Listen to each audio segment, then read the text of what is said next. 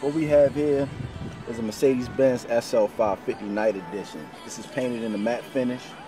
Uh, Designo Magno Night Black. This is a $118,000 vehicle.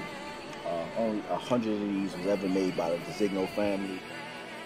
The dash goes up to 260. This car is amazing, man. Um, you know, I picked this up the other day after I fought.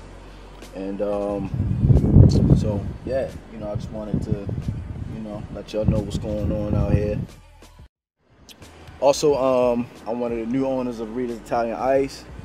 Um, we're opening up um, Baltimore City at the Rotunda uh, next to Center Bistro. So we're going to be doing grand opening maybe end of June. So come check us out, man.